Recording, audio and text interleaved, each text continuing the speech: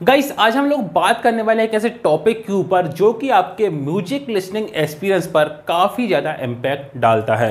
यदि आप एक म्यूज़िक लवर्स हैं, यदि आप एक गुड क्वालिटी का म्यूज़िक सुनना पसंद करते हैं देन आपको ज़रूर से पता होना चाहिए कि आपके जो ईयरफोन ईयरबड्स नेक बैंड या फिर जो हेडफोन्स होते हैं, उनके अंदर ड्राइवर साइज़ क्या होता है।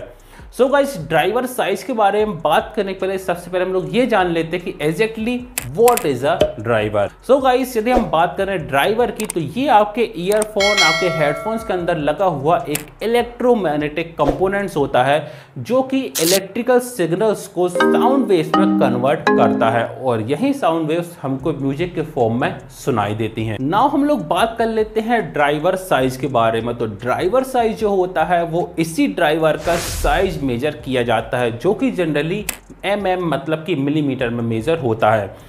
यदि हम बात करें किसी ईयरफोन नेक बैंड या ईयरबड्स की तो इस केस में ये ड्राइवर साइज़ है सिक्स टू फिफ्टीन एम तक वेरी करता है।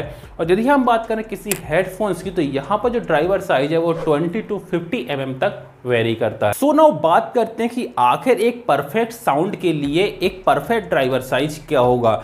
तो मैं आपको ये बता दूँ, पहले क्लियर कर दूँ कि एक गुड साउंड क्वालिटी के लिए सिर्फ़ ड्राइवर साइज़ ही मैटर नहीं करता। यहाँ पर और भी काफ़ी सारे फैक्टर्स हैं जो कि इस पर इफ़ेक्ट डालते हैं।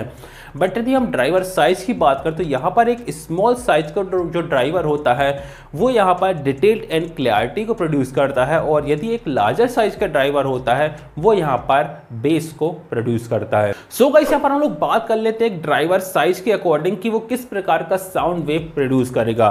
तो यदि हम बात करें एक स्मॉल साइज़ ड्राइवर की, जिसका कि साइज़ लगभग सिक्स टू नाइन एम के बीच वेरी करता है तो वो गाइस एक हाई फ्रिक्वेंसी में डिटेल्ड साउंड को प्रोड्यूस करेगा। यदि हम बात करें एक मिड साइज़ ड्राइवर की, जिसका साइज़ लगभग 10 टू 12 एम के बीच में रहता है तो वो एक बैलेंस साउंड को प्रोड्यूस करता है बिटवीन क्लैरिटी एंड बेस यदि हम बात करें एक लार्ज साइज़ ड्राइवर की, जिसका कि साइज़ 13 एम के ऊपर जाता है तो वो यहाँ पर हैवी वेस्ट को प्रोड्यूस करता है। बट जैसे कि मैंने आपको बताया कि सिर्फ़ ड्राइवर साइज़ ही एक बेटर साउंड क्वालिटी के लिए रिस्पॉन्सिबल नहीं होता। यहाँ पर और भी काफ़ी सारी चीज़ें होती हैं, जैसे कि design material tuning of earphones भी यहाँ पर एक वाइटल रोल प्ले करता है for a good sound quality now guys हम लोग बात करें कि आपके लिए परफेक्ट ड्राइवर साइज़ क्या होगा? तो ये डिपेंड करता है कि आप किस प्रकार का म्यूज़िक सुनना पसंद करते हैं।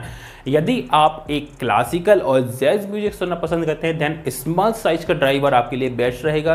यदि आप रॉक और इलेक्ट्रॉनिक टाइप का म्यूज़िक सुनना पसंद करते हैं देन आपके लिए लार्ज साइज़ का ड्राइवर सही रहेगा। और यदि आप एक बैलेंस साउंड को सुनना पसंद करते हैं then guys mid size driver is perfect for you so guys I hope आप लोगों को समझ में आ गया होगा कि अगर what is driver and what is driver size और अब यदि आप नेक्स्ट टाइम कोई भी ईयरफोन ईयरबड्स नेक बैंड या फिर हेडफोन परचेस करने जाएँगे तो आप अपने अकॉर्डिंग एक बेटर एक बेस्ट ड्राइवर साइज़ को चूज़ कर पाएँगे। So I hope guys video आपको पसंद आया होगा। मैं मिलता हूँ उसे बहुत जल्द आने वाले नेक्स्ट वीडियो में। तब तक के लिए बाय बाय